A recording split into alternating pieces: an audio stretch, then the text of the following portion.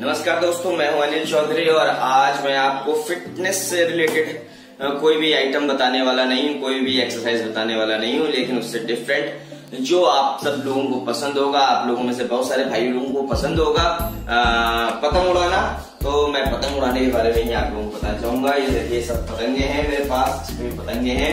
लेकिन सबसे खास बात ये है कि ये पतंग और शौक मुझे लॉकडाउन के दौरान थोड़ा सा चढ़ गया, क्योंकि एक्सरसाइज तो हो नहीं रही थी उस बीच पे। अब मुझे ज़रूरत थी कि कहीं से मुझे अच्छी लटाई मिल जाए अच्छा मंजा मिल जाए, अच्छी पतंगे मिल जाए। तो मैंने YouTube में सर्च करना चालू किया, देखना चालू किया और वहाँ पर मुझे मिले एस के वी काइट सेंटर जयपुर। जिनकी, जिनके स्क्रीन पे नंबर शो होता रहता है, वो नंबर मेरे को मिला और उस नंबर पे मैंने कांटेक्ट किया।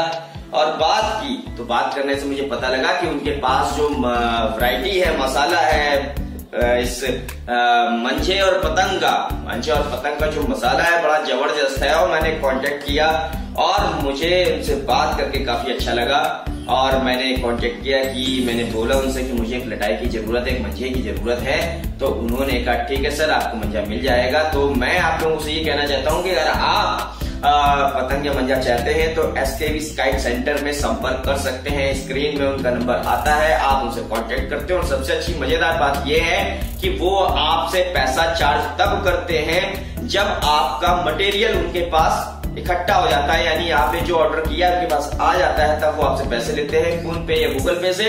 तो दोस्तों मैं एक चीज़ दिखाना चाहता हूँ जो मैंने मंगवाया है आ, मैंने प्रवेश की रोज पे ये मंजा मैंने मंगवाया था।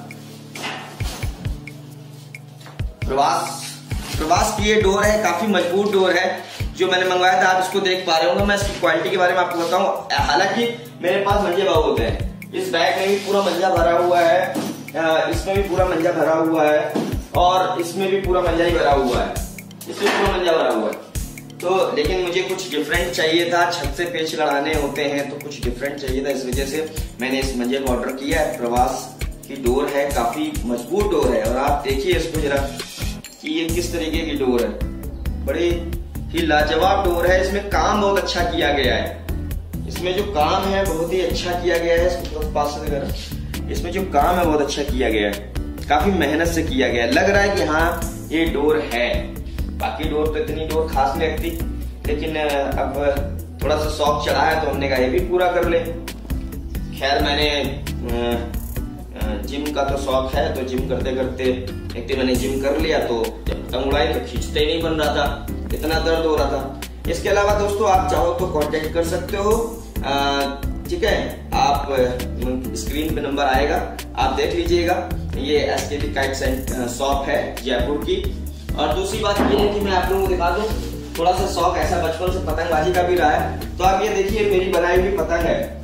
ये तावा पतंग है इसकी रेंज जो है 1500 मीटर तक की रेंज है 1500 2000 लड़ने की नहीं बता रहा हूँ 2000 तक बहुत अच्छी रसीद पे काम करती है ये। इसको मैंने उड़ाई हुई पतंग है। ये भी मेरी बनी हुई पतंग है, इसका थोड़ा सा फरमा गड़बड़ है, लेकिन उड़ती बहुत अच्छी है ये। और एक मेरी पतंग इसकी जोड़ीदार, जो मैंने 2000 मीटर उड़ाई थी, और वो किसी वजह से बच्चे ने लंगड़ा मार के तोड़ उड़ ली। और काफ़ी दुख हुआ, क्योंकि बनानी पतंग हम लोग कोई इस तरीके से बनाते नहीं सॉफ्ट बनाते। हैं और ये जो है अजंता पेपर बनी पतंग है।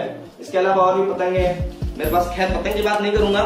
मेन है आप अगर आपको मंजाब पतंग चाहिए तो एस के का एक सेंटर पे आप संपर्क कर सकते हैं। उम्मीद करता हूँ कि आपको वहाँ पर अपने मन पसंद की चीज़ मिल जाएगी। Thank you